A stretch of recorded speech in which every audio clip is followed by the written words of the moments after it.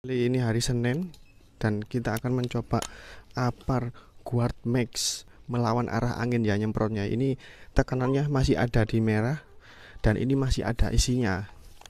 Mari ini kemarin habis dipakai. Jadi mari kita lihat Apar kalau kemarin habis dipakai apakah bisa disemprot. Dan kali ini saya akan melawan arah mata angin nuruti cocotin netizen ya. Nah, ini ya.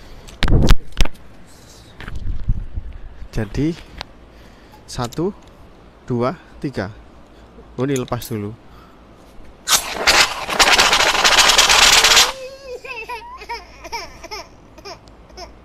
Lah kok malah nangis? Ternyata tekanannya ini. Oke guys sepertinya ada yang nangis.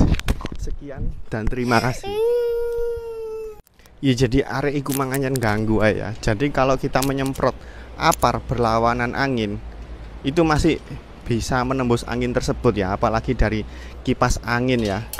Gini ya. Loh, ini masih ada isinya. Ini isinya apa ya? Kok cair ya?